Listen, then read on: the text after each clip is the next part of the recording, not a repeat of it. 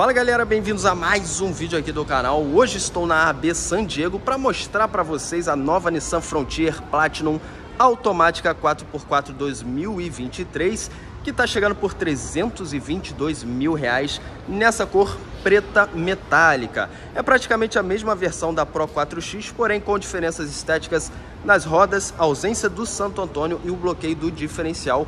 Vamos conferir tudo que você precisa saber sobre esta picape. Começando pela frente, a gente tem um design totalmente reformulado, bem mais robusto. O destaque com certeza fica para esse conjunto óptico, iluminação em LED nesses quatro projetores. Temos luz de seta e aqui em cima uma barra que funciona como luz diurna, assim como nessa parte inferior. O acabamento interno na cor preta, ele se interliga com o desenho da grade, que ficou bem interessante.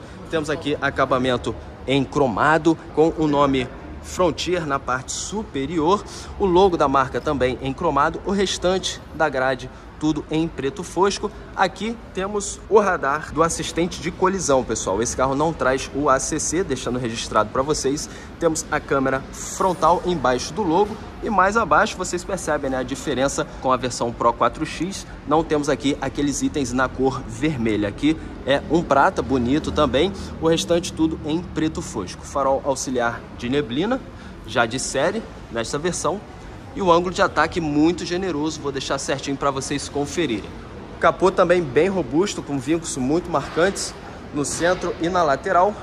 E falando em lateral, conjunto de rodas chamam a atenção, mesclando o acabamento cinza grafite com partes na cor prata, aro 18, pneu 255 60. Já vem com para-barro, motorização biturbo, repetidor de seta no retrovisor em LED câmera lateral do conjunto 360, mais cromado na maçaneta em volta dos vidros, a coluna B pintada na cor do carro, o rack de teto nesse mesmo prata que está presente lá na frente, estribo de série também, isso aqui é um acessório, tá pessoal? Que você coloca aí para proteger as portas. Roda traseira, uma novidade nessa linha, temos freio a disco, ponto importante. O retrovisor vem com sensor de ponto cego, tá? Mostrando aí para vocês, ó. A Frontier é a picape mais alta e com os maiores ângulos de ataque e saída da categoria. Lá na frente 31.6 e aqui atrás 25.7. Tem um detalhe aqui também da tração 4x4. Vou mostrar agora para vocês detalhes traseiros, a começar pela lanterna. Também foi reformulada, o acabamento levemente escurecido, com essa assinatura em LED, luz de seta, luz de ré, nome Platinum 4x4, logo da marca, câmera traseira. E o nome Frontier em 3D. O para-choque mesclando a cor do carro com esse preto fosco, iluminação da placa, já vem com o sensor de estacionamento também, e o step fica aqui embaixo é o pneu de rodagem normal, aparentemente. Essa versão não vem com a capota. Lá em cima temos o brake light e a antena estilo normal. A caçamba agora ela está mais alta e a tampa está até 60% mais leve. Vocês percebem o acabamento que a Nissan colocou aqui na Frontier, tudo forradinho no material antiderrapante, vem com esses porta-copos, você consegue colocar aí também uma garrafa. Isso aqui é um acessório, essa espécie de divisória, ganchos nas extremidades, tomada também ali do outro lado, e vocês percebem o nome Nissan lá atrás, beleza? E a capacidade, 1.030 quilos, bastante coisa, né? Um detalhe bacana, suspensão traseira multilink, mostrando aí detalhes para vocês. Para barro, óbvio, aqui atrás também. E agora vamos ver a parte interna. Vem com o botão do Q10, a chave é presencial. O acabamento nessa parte superior em plástico. Aqui onde encostamos o braço já é em couro, com detalhes em marrom. Comandos dos vidros, somente o do motorista que é um toque rebatimento do retrovisor, travamento e os ajustes elétricos. Maçaneta em cromado, saída de som normal, porta-objetos, porta-garrafas, aqui embaixo também é em plástico duro. Não tem soleira, pedaleiras normais, os bancos muito confortáveis, bem bonitos. Aqui, ó, essa parte central no estilo 3D também, interessante. Abas bem pronunciadas. Já temos seis airbags, costuras em marrom mais uma vez. Plástico cobrindo os trilhos e aqui os ajustes de altura, profundidade e lombar. Ponto positivo. Vamos entrar para ver esta interna. Essa picape é bem alta, pessoal. O volante, ele é forrado em couro. A base não é achatada, como a gente tem no Kicks os comandos do painel e também aqui da multimídia, desse outro lado o piloto automático que não é adaptativo. Haste de seta com acendimento da iluminação, do outro lado limpador dos para-brisas. Você consegue ajustar a coluna somente a altura, não tem ajuste de profundidade, infelizmente.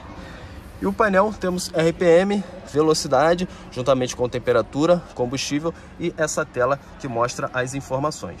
Inicialmente aparecendo a velocidade digital, você colocando para baixo algumas informações também, mostrando multimídia, distância percorrida, colocando para o lado dados de economia, tá até dizendo aí que está com baixo combustível, mais uma vez para o lado informações de trip A e trip B, mais dados da multimídia, aqui toda a parte de assistência ao condutor, que é o sistema Shift Child, que traz alerta de colisão, alerta inteligente de atenção. Temos assistente de faixa também, alerta de tráfego cruzado. Vou deixar tudo certinho na descrição para vocês. E configurações de modo geral, temos aí o modo eco, pressão dos pneus, você consegue alterar configurações do relógio, parte do veículo, manutenção, customização do painel, você pode mudar por aqui também. É um painel bem completo, melhorou bastante, pessoal, quando a gente compara com o modelo anterior. E aqui no console central, a multimídia, que vocês também já conhecem, de 8 polegadas. Aqui basicamente não mudou muita coisa. Tem esses comandos físicos na lateral, gosto disso, ponto positivo. Desse outro lado também, inclusive o botão de acesso às câmeras. Câmera 360 graus, você tem essa visão de cima e aqui a traseira também, bacana traz a função de customização de tela, se arrastando para o lado informações do rádio, histórico de chamada e aqui alguns ícones de atalho para a função AM, FM e o áudio Bluetooth, certo? Mais abaixo, botão do telefone para você fazer essa conexão parte de áudio, você ouve AM, FM, também pendrive, áudio Bluetooth, também já traz Apple CarPlay e Android Auto, conexão auxiliar e aqui algumas configurações específicas que você pode alterar também através desse menu, certo? E é basicamente isso, galera. É uma central que traz as funções básicas do dia a dia. E mais abaixo, os comandos do ar-condicionado, que é digital de duas zonas. Vou até inicializar aqui, ó, para vocês verem. Temperatura da zona 1, zona 2, traz a função automática, os desembaçadores e aqui o recirculador. Mais abaixo, comandos de tração 4x2, 4x4 reduzida e 4x4 normal, assistente de descida, barulho sensor de estacionamento e aqui uma tomada 12 volts. Entrada USB e auxiliar, não tem carregador por indução, infelizmente, e aqui os modos de condução. O Standard, o Sport e o modo de reboque, além do modo off-road. Beleza? Deixa eu desligar o carro que a gente está no salão o câmbio automático de 7 velocidades. Vou mostrar para vocês a imagem da câmera traseira. Vocês já viram, né? Traz o sistema 360, o modo sequencial que você coloca para o lado e coloca para cima ou para baixo para fazer as trocas. Aqui tudo em black piano, com esse detalhe imitando aço escovado, interessante. Para você limpar o catalisador, dois porta-copos, a chave padrãozinho Nissan, com abertura e fechamento das portas, alavanca de freio de mão normal, o apoio de braço é no material macio ao toque. Aqui embaixo tem um bom espaço com duas entradas USB, uma normal tipo C e mais uma tomada 12 volts. Ele é fixo, não vai para frente nem para trás. O porta-luvas tem um tamanho interessante, porém sem iluminação. O retrovisor eletrocrômico, porta-óculos, comandos da iluminação, que é em LED. E o diferencial, olha só, teto solar, ponto extremamente positivo da Frontier. Porém, a rede é manual, certo? Você consegue abrir e fechar de uma forma bem fácil. Agora sim, mostrando para vocês a redinha, beleza? O acabamento tudo em plástico duro, detalhe aqui escrito airbag, saída de ar tem uma moldura numa espécie de aço escovado. Só desse lado que traz o puxador, desse lado não tem. O teto é na cor clara, para-sol com espelho e iluminação. Desse outro lado, a mesma coisa, certo? Botão de alerta, essas duas saídas de ar bem grandes. E desse lado temos alguns comandos de controle de estabilidade de tração para você acionar o sistema Shift Child, ajuste da altura do facho do farol. E aqui você troca também algumas informações do painel de trip, aqui na parte inferior, ó. Não sei se vocês estão conseguindo ver aí. E aqui para você aumentar e diminuir o brilho do painel, beleza? Vem com esse porta-copos também, numa posição boa, fica de frente para a saída de ar, do outro lado a mesma coisa. Então é isso, pessoal, aqui na parte interna da Frontier, vamos conferir detalhes traseiros e o acabamento também.